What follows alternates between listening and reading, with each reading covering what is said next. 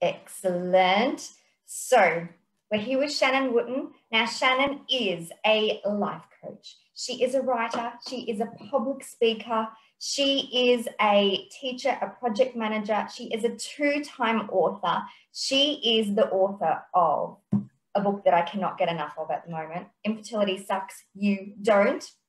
And she struggled with, or is struggling currently, is struggling with fertility and on this for six and a half years, which is just absolutely amazing. But she has made something of it, which is why we are all here. And Shannon, if I can hand it over to you and you can tell us just a little bit about you and your fertility journey. Hello, everybody. I cannot see the question, so I'm going to rely on our friend Jennifer here to kind of share, as she said before, anything that comes up. So don't feel like I'm, you're not seeing something. It's not poignant to me. It's not important. It's all relevant, important. You are important. You matter. Thank you for being here with us. And I just want to say, before I go into anything about me, I see you. I feel you. How you feel about whatever you're going through is important it is valid, it is yours, and it matters. So we love you and we thank you for being here with us. I'm so honored, Jennifer. Thank you for inviting me to engage in this conversation. She knows um, through all the preparation that she's done on the front end of this, which has been huge, and it's such a marvel to watch anybody throw their heart into something so passionately. And I think it speaks leaps and bounds about who Jennifer is as a person. I'm sure everybody here can testify to that. She is just heart centered and this is what led us all to be here because of who she is. So thank you. Thank you. And this is the very, I mean, that, that beautiful introduction. Thank you so much for that. Thank you for reading my book. And thank you for all of the pages of notes that you showed me. You have little post-its on. That means a lot to me because when you speak out and you speak out um, about something that is, when you speak out about something, period, right? That's a big feat in and of itself. But first and foremost is to have that moment of reckoning and recognition with yourself that this matters to me. That's massive. So, for any of you that are here with us and you have a feeling or an inkling or an idea about anything, I just want you to take a minute to recognize how, can I swear here?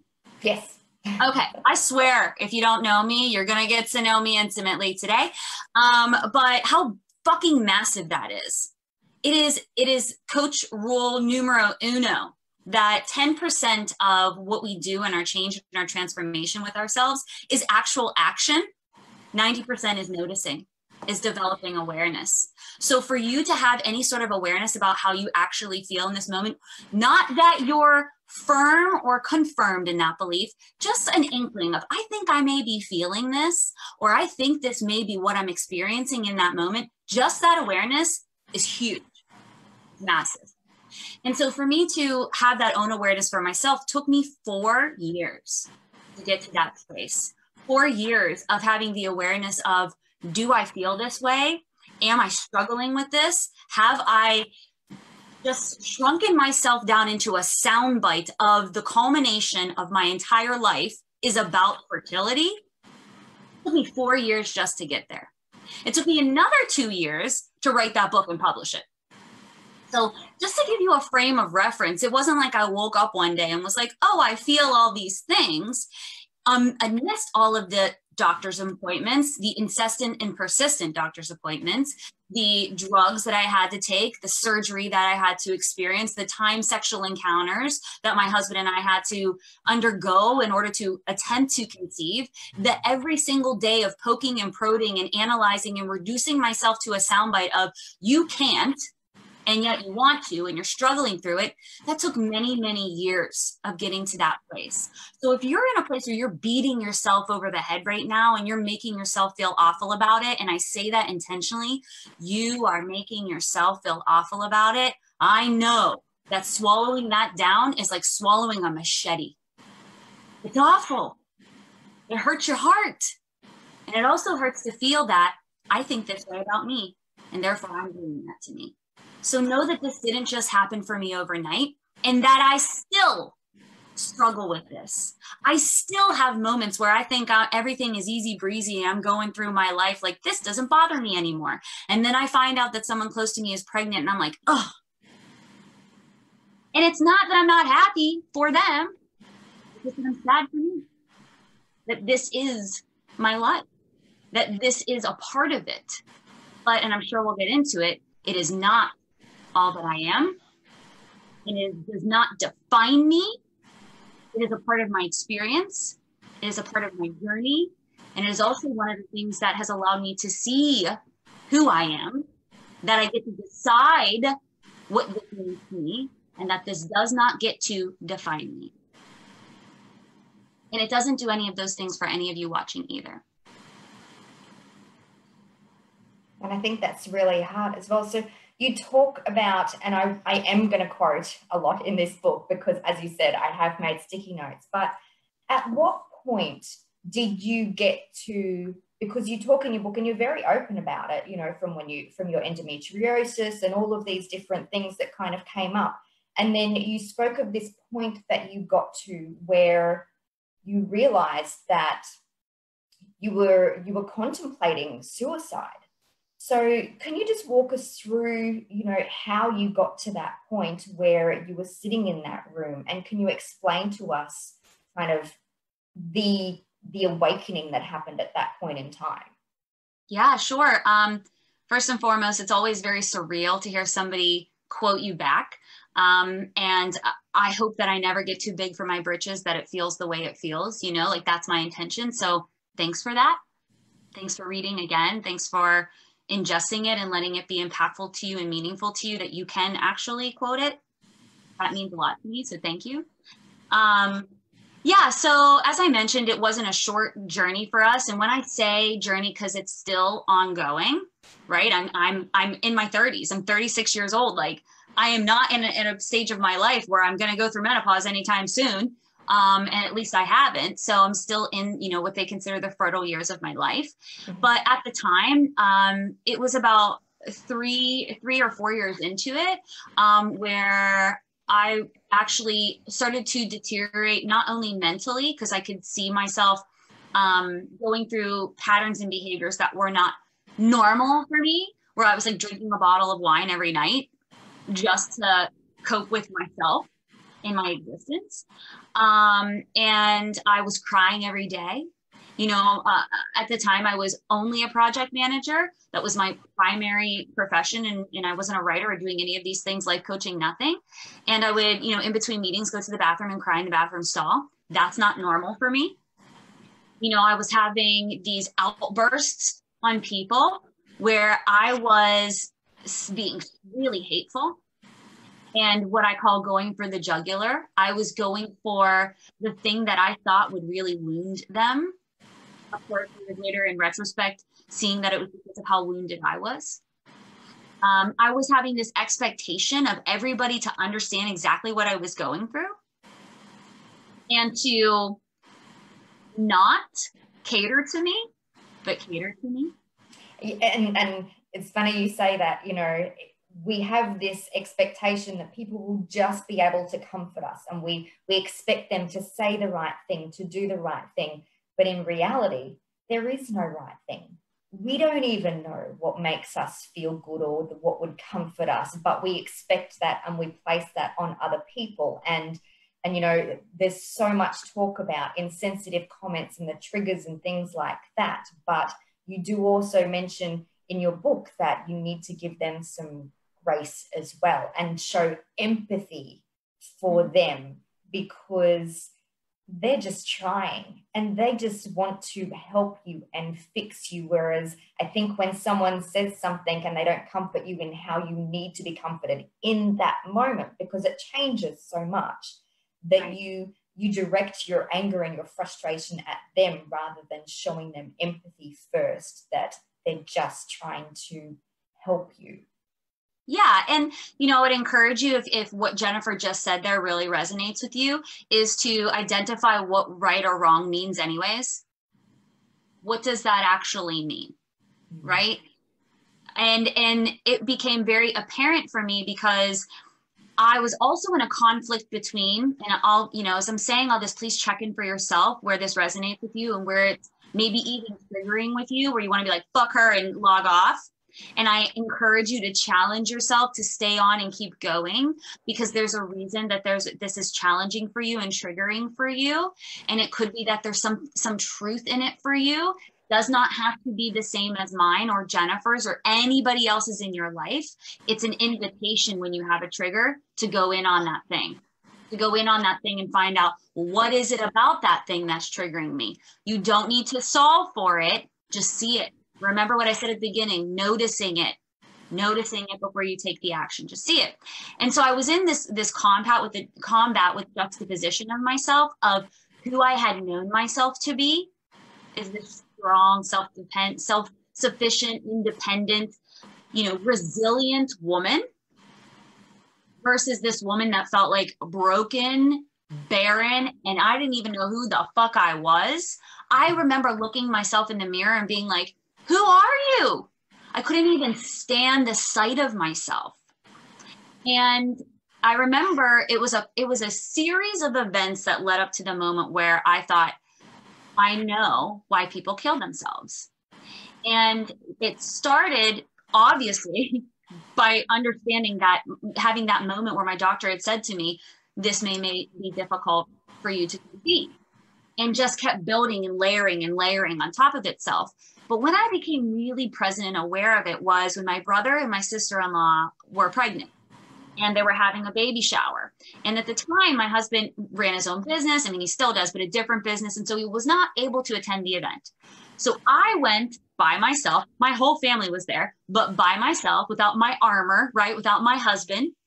And every single time there was some sort of comment or question about when are you going to have children? I find myself at the bar drinking another drink. Later on that evening, my father was driving us, and as we were driving home, there was a comment made that made me feel like he was saying to me, Get over it. When are you going to get over it? And I broke down. I broke down in uncontrollable sobbing and it was a mess. It was such a mess where I, I couldn't make heads or tails of why do you feel this way? You're actively choosing this. You're actively going to the doctors every day. You're actively spending tens of thousands of dollars on this treatment. You're actively a participant in the process and you're convincing yourself that the ends justifies the means. And here I am convincing myself in that moment that my dad does not care about me. This is my father. I know in my heart of hearts that this man loves me. I have a lifetime of proof that he does. He's never struggled with infertility though. And here I am nailing him to the cross for what felt like to me, my experience of what he said was get over it already. And I felt like he had shot me with a bullet.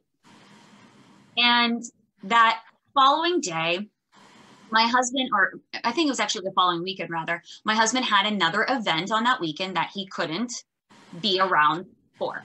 And it was, you know, in the middle of the afternoon, and I was sitting in my pajamas and it was raining in Pittsburgh, Pennsylvania, which it does a lot in the wintertime. And so it was very dreary. It's like 6 p.m. all day long, no sunshine. And you know, just sitting in my pajamas with my fuzzy Restoration Hardware blanket wrapped around me, listening to the rain, sitting in silence, crying uncontrollably. And since then, my grandmother has passed away, and I had a very close relationship with her.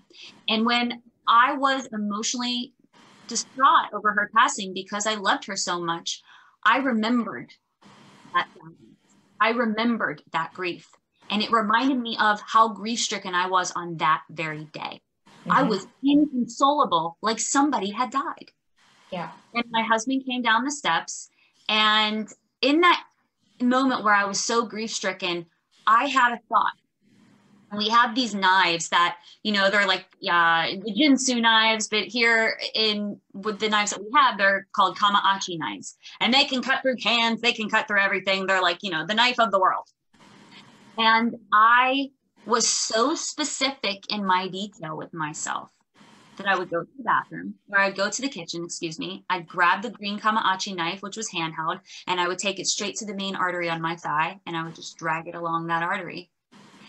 And what has since been a revelation to me through work and introspection and getting my life coaching certification and going through therapy, finding a new therapist that I really enjoy, was that what scared me about the moment was not that I would cease to exist, not that I would end my life, was that I was more concerned about who was going to find me and what it would do to them.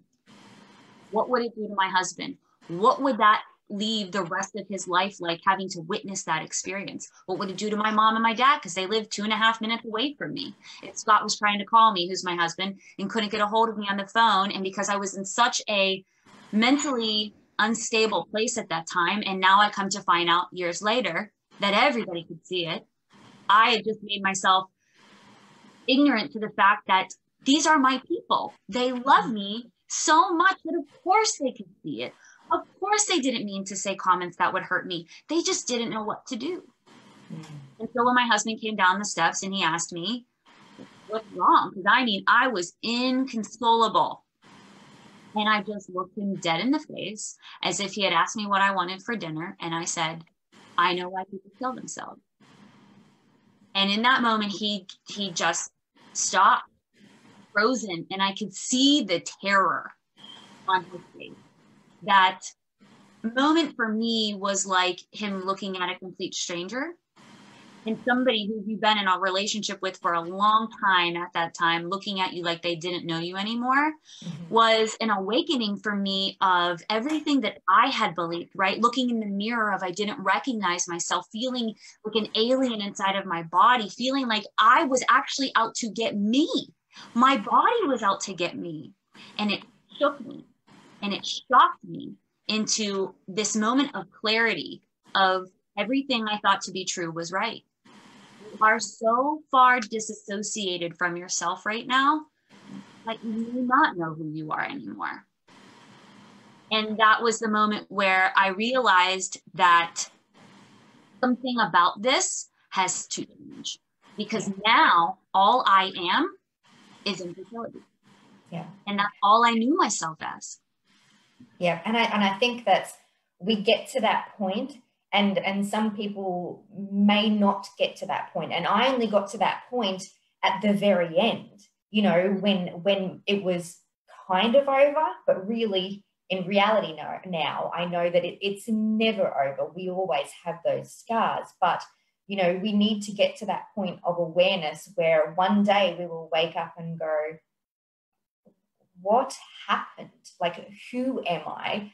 And so you reach that point and and i think you know i'm just trying to think now in terms of the ladies who are still in the middle of this journey and they can they resonate with bits and pieces but they may not be to that point of awakening where they're going i need to do something about this now. You know you don't want them to get to that point of of thinking about taking a knife to themselves but they need to you know and, and this is the thing you you also spoke about you know having compassionate responsibility and taking ownership of our situation as well. And that is really, really tough to do. You know, almost that we get to that point where, excuse me, that we have that victim mentality surrounding us. So, how, you know, what would you, how do we get out of that? What did you do to get out of that? This is happening to me you know, I, I don't know what to do anymore. Like, what was the next step that you did or that you took? Yeah. So, you know, first of all, I just want to address responsibility.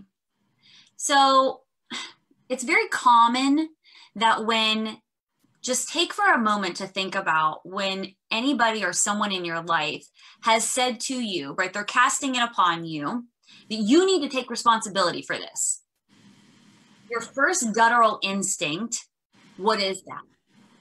For those of you listening or watching right now, how does that make you feel inside your body? Because I know for me that in my life, the the experience that I had anytime somebody was saying, you need to take responsibility for that, first and foremost, the feeling was, am I not? Their their interpretation is I'm not taking responsibility for that right?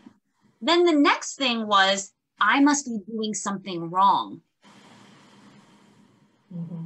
So if that is your experience as well, I invite you to take in that nobody gets to tell you what you are and are not doing. This also goes back to the right or wrong context. If you make being wrong about something bad, then that's what you make it. And in comparison to that, if you make being right good, then what you make it. But if you decide it does not matter if I'm right or I'm wrong, because there's something for me to glean from this either way, then that's great. That's also what you decide. Either way, whatever meaning we apply to something is the meaning that we apply to something. Next is somebody else's perspective or perception of you does not get to be right. If some i can't tell you the number of times i've had somebody in my life tell me that i'm a bitch because i'm direct because i say what i think and what i feel. And if somebody wants to tell me that they think i'm a bitch i'm not going to tell them they're wrong. Mostly because i don't care if you think i'm a bitch that's what you think and no matter no amount of begging and pleading with you to not think that isn't going to change also it's not my job to manage your feelings It's not my job to manage your perspective of me. It is only my job to ascertain who I am and who I'm not. Mm-hmm. So taking responsibility for something doesn't mean you're wrong, but only if you make it. Mm-hmm. Yeah. So compassionate self responsibility is allowing yourself to see that. I get to be an ever growing and evolving human being. And I'm constantly saying to my husband, because he's the person in closest proximity to me because we live together, the same sentiment of, I don't know who I'm going to be an hour from now. So I have no idea on how to prepare you for that. Similarly, I cannot live in the past for you. Who I was a year ago, five years ago, seven years ago is not who I am now. There may be bits and pieces of that, in there, probably things that I've learned, probably lessons that I've gleaned from, but it's all wisdom. And I get to make it that. But if you're going to hold it over me like a black cloud and nail me to it, then only you are going to keep me back there. But I'm still going to be version of Shannon 2,957,366.0 that I am right now because that's who I'm committed to being. Mm-hmm. And my compassionate self responsibility allows me to do that. It allows me to grow and change. It allows me not to be guilty of the sins of my past. And I can honor somebody's experience of whatever happened there, but I don't have to stay there. Mm-hmm. I don't have to live in that place. So, what I decided in that moment when I was taking compassionate self responsibility for myself was I don't have to nail myself to that cross and make myself awful and demonize myself for the things that I was doing as I was growing through them. I can acknowledge the people that I shut down. I can acknowledge the people that I made feel small. And I can acknowledge that because I did all of that to myself. And so, in that moment of compassionate self responsibility with myself, and seeing what I was doing to myself and seeing how I was hurting myself and judging myself, I allowed myself to be right. Right. This is how you feel. You're right. That does feel bad. You're right. You're not really sure what that means. You're right. You're just trying to figure it all out. You're right. You've never gone through infertility before until now either. So it gets to be a learning experience for all of us. And I did allow myself to have conversations with my family members. And I did allow myself to say to them, I understand that the sentiment is hurt people, hurt people, but that's not who I want to be. Mm-hmm. Me, I don't want to hurt me. And I don't want to hurt you. So I got to honor all of it. And I got to allow myself with compassionate self responsibility to open my eyes and see that somebody's experience of me does not define me. And I don't have to make it true just because they say it is. I get to discern what my truth is. I get to apologize if I need to apologize. If that if that's not who I want to be, if that was not a cute look for me, I get to own that and I get to allow myself to grow and learn from it. And that's it. Mm. And such and that is just that is so inspiring. That is so amazing. And I think people watching, like it's taken you quite some time. It's not like in that moment when you were, you know, huddled under your blanket that you had this epiphany and then all of a sudden you came out from underneath and went, right, this is me, this, this, this, this, this. Like, like this has evolved over a long period of time because I, I hold empowerment days and I do coaching as well. And it's all designed to get women to this point that you are at, at least take the first step. Yeah. What were some of the first steps that you that you took to to kind of get to this point where you just you know because we all want that. We all want to be able to have that that you know cone where where it just deflects and we're so confident in ourselves and who we are and we're okay to change. You know like it's all about who are you and who do you want to be? And you can you can be anyone but it's mm-hmm. just a matter of you know, I guess the hardest question is who is that person? Because as you said, you know, and when we're on this journey, we lose the person that we were. And even trying to go back to the person that we were, we'll never be that person. This no. journey can make us stronger and we can we can do so much with it, but it's really hard when you're actually sitting in it to do it. So what were some of the first things that that you did? So I love that, right? Because as I mentioned before, I was comparing me to me.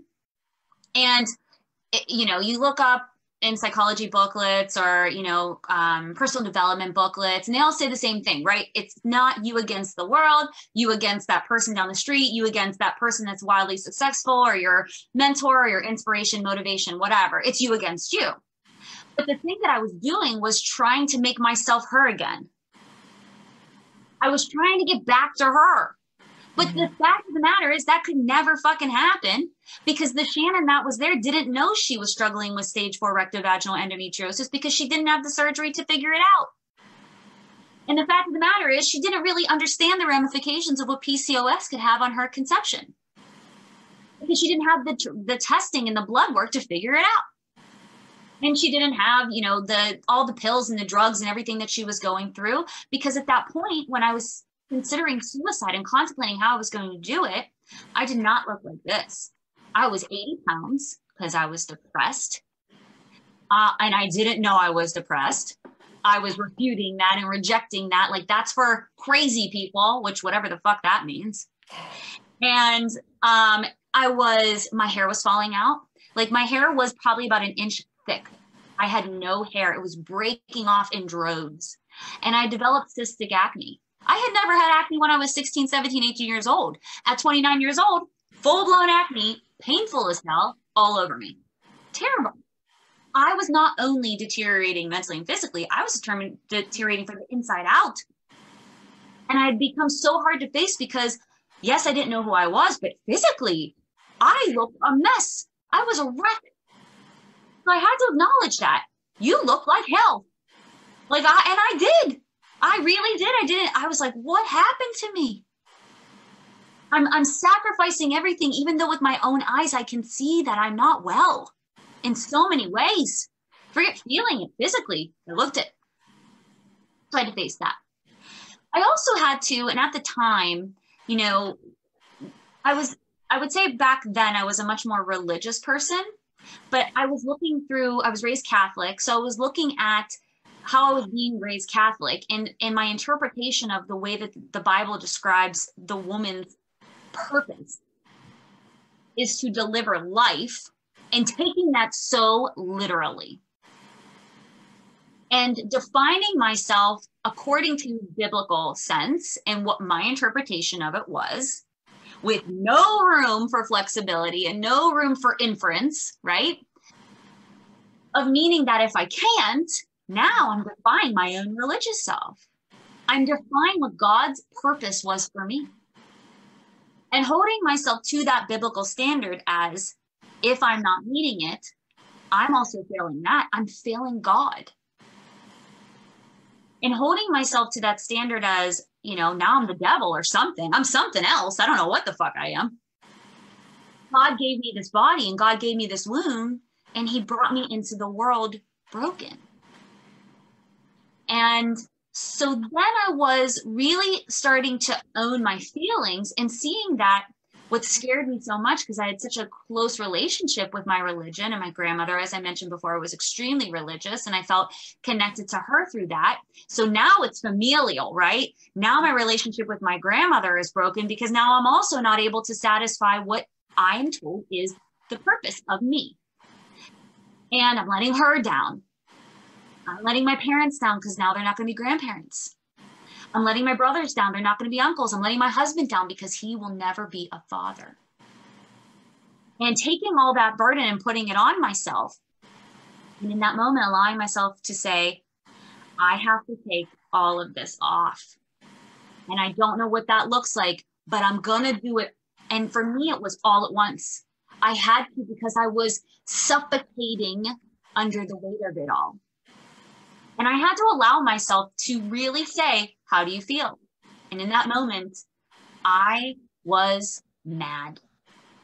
I was mad at God.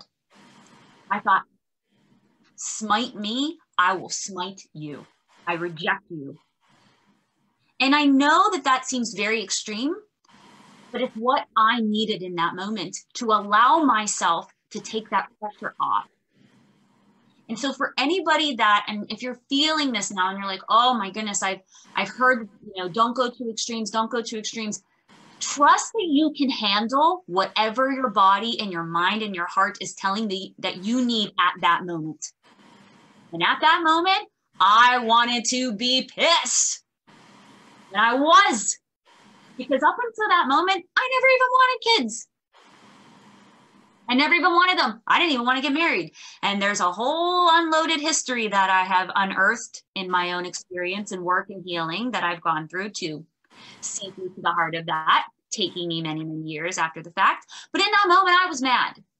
And so I decided I'm going to be mad. I'm not going to be mad at anyone. I'm just going to allow myself to be in the presence of my mad because it was unsavory and it was also unacceptable to the Shannon that was in control, mm-hmm. independent, a boss about her life and got shit done. Mad and anger and sad, there was no place for that shit. Because in mad and anger and sad, I felt out of control. Mm-hmm. So, in that moment, allowing myself to see that I was trying to force myself to be who I'd been, which was impossible. I was up until that moment squelching my actual human emotional response and not allowing myself to be emotionally intelligent. I opened that up and let that come to the surface. Not saying it was pretty, but it happened. And, and that's allowed- the thing. Look, we try not to do that because we're like, what happens if I do that? If I open all of that up, we have no idea what's going to come out. And so that's why we keep that lid on so tight. So it's so brave that you just kind of like, I'm just going to let it out. And I want to speak to that for just a moment for my women who are type A go getters. I get shit done. I'm about my business. I'm a boss, bitch. Women. yeah. That can feel super intimidating because once we decide again you decide what right and wrong means. You decide what self-responsibility means. You decide if you're going to let someone cast aspersions on you and you make it true. You decide if you align with that. You also decide that sad and anger and any of those emotions that you decide are unsavory you also decide if they feel like they make you out of control. Because as being about the hustle right we decide this is the way that needs to look. So if I freak out. If I'm pissed, that's letting my emotions control me. So I get it if you're the type A go getter. I've been that way my whole life. You know, there here's a list of things I'm allowed to do. Here's a list of things I I need to get done. Check, check, check, check, check. Now I feel good. Mm-hmm. So in the moment, if you deviate from that, then that feels unsavory. It feels unfamiliar. And I'm going to tell you something right now. That's because it is. right? Everything that we know and believe to be true is inside our comfort zone. And everything that has the possibility for change and transformation and growth, and you getting what you want, outside of that comfort zone. It requires us to walk outside of it and look around and go, well, this shit looks unfamiliar and is scary as fuck. And then you looking back at yourself and going, well, that's because it is. Mm-hmm. And I know that that feels really like, oh, she's making this sound so easy. I make no qualms about the fact that that does sound really easy, but it's a lot of hard fucking work. Mm-hmm. And I put in a lot of time to get here. And I'm telling you this because when you come up against your self defense mechanisms or your survival mechanisms or your automatic behaviors or things that you're familiar with. And they feel like they're challenging you to go back to the things that you know, even though you have that idea or you have that feeling or you have that energetic surge that's like, I know that I actually want to do this, but everything's sucking me back here. It's that familiarity that's sucking you back. That feeling, that inclination, that energy, that heart based emotional response that's you talking to you. That's you saying to you, I think, I think I have an idea of how we can move forward. You just have to be willing to engage that thought and say, You're right, this does feel weird. You're right, this does feel scary. And that is just because it's the unknown. It's something I haven't done yet. Yeah. So in in in that, I didn't know all this then, right? This is years of life coaching, this is therapy, like all kinds of stuff. So, in that, at that time, you know, there's a lot going on about personal development books and read them and ingest them and all this stuff. So, I am hip to what I'm going to want to learn from and what I'm not going to want to learn from. And this is because I'm a type A person, right? I know what I like and what I don't like. Mm-hmm.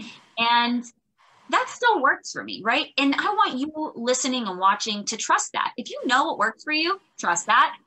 Also, trust that it could change. Just know that. So at the moment, I was like, I don't want anybody to tell me how to feel. I don't want anybody to tell me that they have my number and they know who I am. I don't want that. I don't want you to be so the guy or so the girl for me. I want, I don't want paint by numbers. I want someone that's going to talk to me real and flat. So I went upstairs and I Googled in my house. I got on my um, laptop and I Googled personal development books with swear words in them. I love that. it doesn't get any more real than that, people.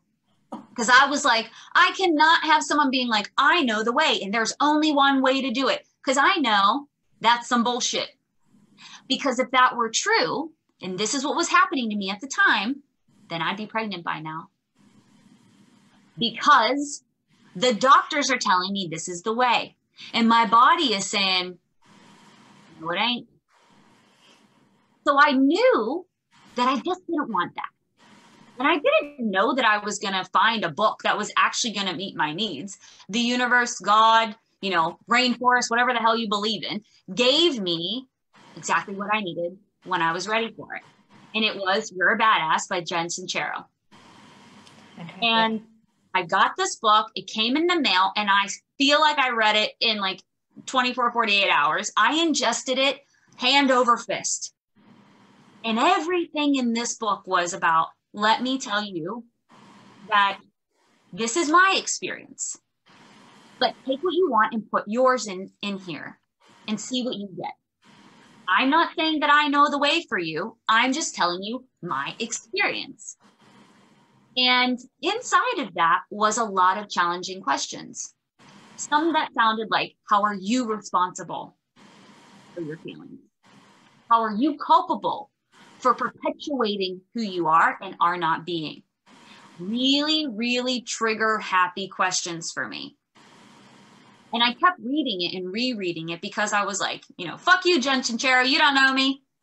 And then found myself going back to it because she was so honest and so compassionate and made, at least in my interpretation of what she was writing, no excuses about who she was and who she wasn't.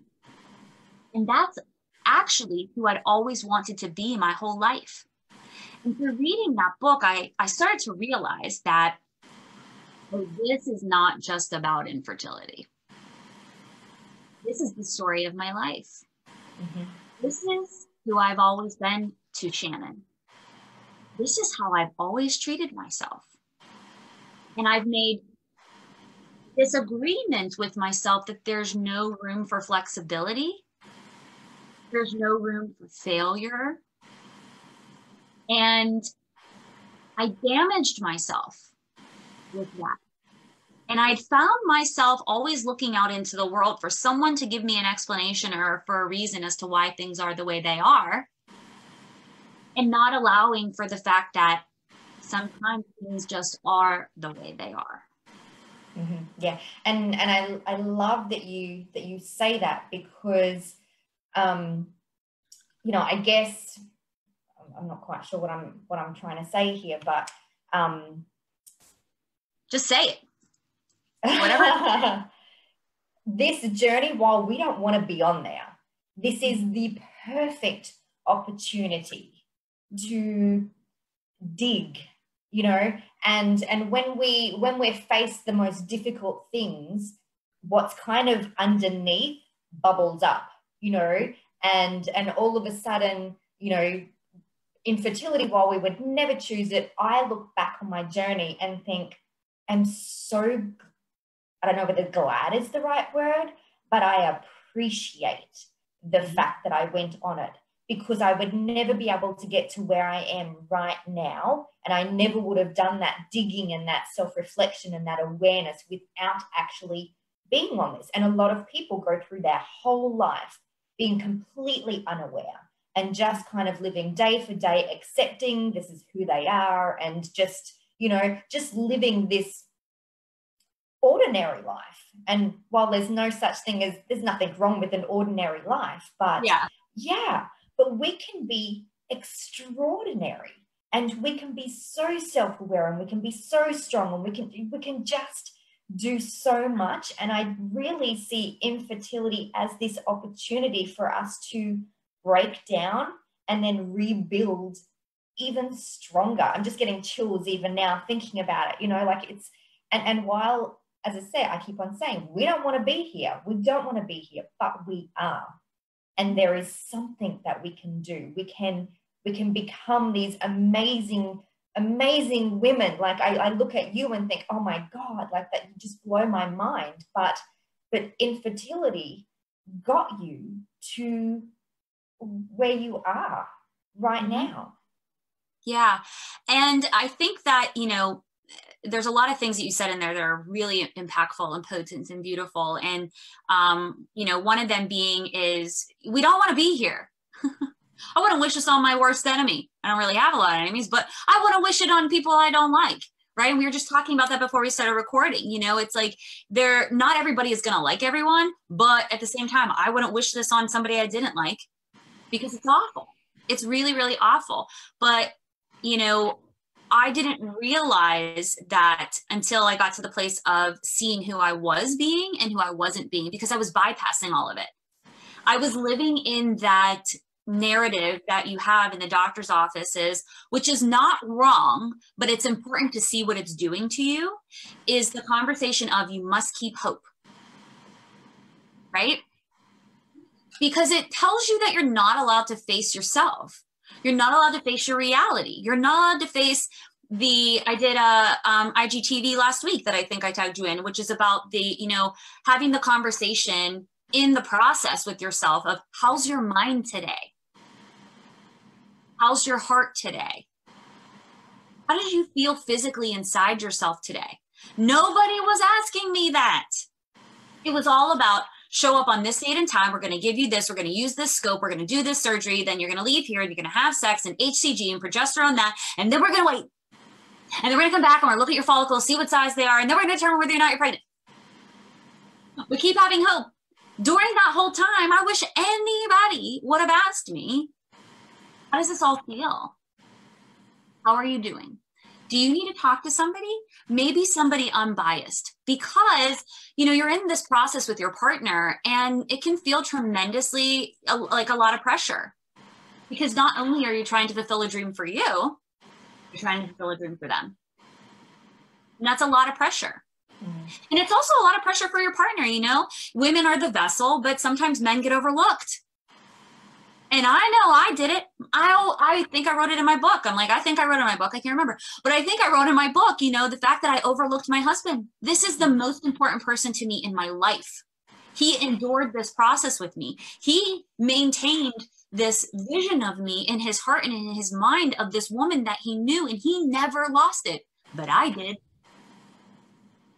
He held the relationship and the love for me when I went away because I was bypassing all of it. And I couldn't hear of the possibility of it not working out because I was supposed to keep hope. That was my job, keep hope. Yeah. Meanwhile, how do you fucking feel? Oh, I feel like shit. I'm mad at myself and I'm really not sure why because I don't want to be here. I'm feeling these negative thoughts and emotions about myself and I'm not really sure why because I didn't choose this for me. I didn't stand in line at, a, you know, the grocery at the deli and say, infertility, I'll take that. No. I didn't grow up trying to not get pregnant and using contraceptive and, you know, the pull out method, whatever the hell, you know, so I could grow up and then still not be able to get pregnant. Yeah. I didn't err on the side of caution sexually so I could go and endure this later on. No. I don't want to loathe having sex. I like sex. And here I was like, all right, let's do it. I'm going to pull my pants down, lay over the bed, and then, you know, you do the thing and then we'll be done, right? I didn't want to alienate my husband and alienate my family and my friends. I lost friendships in the process of this. I hurt people. And I had to come to terms with that. And I have, and I did. But it's all because I didn't want to be here and I was bypassing it. Yeah. I was ignoring that. Mm-hmm. And it's an important piece and part of the puzzle that you are not a vessel, you are not broken, you are wonderful and beautiful. You just happen to be experiencing an experience that is undesirable. And it's okay if you acknowledge that. It does not mean you don't have hope that it will work out. It doesn't mean that you aren't doing everything that they're telling you to do. It doesn't mean that you are deserving of this or you did something wrong or something in a past life, which is what I thought, that I was in retribution of and trying to make up for. None of that is true. Mm-hmm. And acknowledging that and seeing that and taking responsibility for that and having compassion for that doesn't make it any less real that you would like to have your own child in your womb. Yeah. And I think it's important that and I feel like that's a gap that's missing. And I talked to therapists and other doctors about it of identifying the human in the human experience. And that's really what we're doing here, right? Mm-hmm. That's really what Jennifer brought us all together for, is because if it sucks, you get to say it sucks. That doesn't make you a negative Nancy. That doesn't mean you don't want it. That doesn't mean that you aren't yearning to be a mother. And I think it's important to acknowledge, and I think I heard you say this, so I don't want to put words in your mouth, so please correct me, Jennifer. But, you know, like Jennifer and I, I decided to stop taking the fertility drugs. I decided to stop poking and probing myself. I decided to stop making my everyday about, am I pregnant? Can I have a baby? And I, and I think, and I get that a lot. A lot of women are saying, when is enough enough? Like, when and and I think you know it, it's harder it's harder to stop than it is to keep going. So you know how do you get to that point where you're like well, enough is enough? And and and, and I, I hope you don't mind me asking you this question. Are you still on your fertility journey or have you stepped off? So I love this question for multiple reasons, right? Because it, I believe, and this is my perspective, right? Have your own perspective. I'm not casting aspersions on you whatever you view, I believe it to be valid and true. I'll say that first and foremost. But I'm 36 years old. I'm not infertile, right? I still produce eggs. So I don't, and I don't use condoms with my husband. We don't have protected sex. So I'm still on my fertility journey because according to the doctors, after I've done all the things I've done, I should be pregnant. And I'm not. So I'm still on my fertility journey. And the glamorous part of having PCOS and endometriosis is that my period every month is never on time. So every month I get the wonderful experience of having the conversation with myself of what if this is it? What if this is my miracle baby? What happens then? Because let me tell you, you know, my life isn't planned for a baby right now. Would I be sad if we got pregnant? Uh, no. Uh, and I wrote this at my, the end of my book. You know, I feel like people ask me, hoping that my answer is going to be, I don't care anymore. It doesn't affect me anymore. And I really wish that that could be the answer. But it's not. I will always, for the rest of my life, wonder what a child between my husband and I would look like. And it will always in, inspire this emotion because I love my husband, but more importantly, because I love myself and because I deserve that. I deserve to feel my baby kick in my womb. I deserve to see what it will look like. I deserve to see if it will have my attitude and his brilliance. I deserve that. We all deserve that. It doesn't mean that I'm still, you know, dealing with this in a negative way, however you want to title it or dub it. But what it means is that this is a part of me. Mm. It impacted me. It changed the trajectory of my life. And I'm allowed to want those things. I'm allowed to even mentally envision what they would look like. Mm. And still hold on to hope for that. Mm. That is truly not bypassing. No. That's having presence with myself and presence with those emotions to allow space for them mm. in my strength and my fortitude and my decision about what that means. And that's all compassionate self responsibility. Mm. I love that. So oh, thank you. um, thank you so much for sharing. Oh my God, that is just amazing. and and this is something like it just doesn't go away as well. Like I'm I'm I'm outside. I have two children, but still, it, there's this thing inside of you, and it, because it's become such a habit, you know, and we have it happens to you 12 times a year you know of, of, that thing. And so even now when when i get my period i'm like oh like because it's this something that's just such a habit ingrained in us. But you know and, and you talk about this all the time you know having a and i'm going to quote you here you know we place happiness on having a baby. Having a child will not make you happy you know. Having a baby adds value. It's not the sole reason that your life has any value and you are a true testament to that you know you have created something outside of this and you're you're so inspiring so. I just wanted to thank you so much for coming on here. You are like a I must admit, before we came on here, I was like, I said to my husband, like, oh my God, I'm such a fan. I don't know how I can do this. And he's like, do not go fangirl. Don't go fangirl. so I hope that I've kept my cool, but I love you. I love you. I love you. And we are actually giving away five copies of your amazing book as well, and also a 30 minute mindfulness conversation with you. I might comment below as well so that I can go into the draw. Yeah. Yeah, I would um, love to. Yeah, so if you want to be in the draw for that, just make sure you put a comment below. Let us know where you're tuning in from. If you're watching on the replay, just let us know that you're here and you're going to the draw. But Shannon, oh my goodness, thank you so much for being here. I love you. You're amazing. You're such an inspiration. And um, and yeah, it's just absolutely, I love everything about you. Thank you so much. Oh, thank you. It was my honor. And thank you all for tuning in. Whoever is watching, like I said, I can't see right now, um, it means a lot to me. And I just want you to know my heart is with you.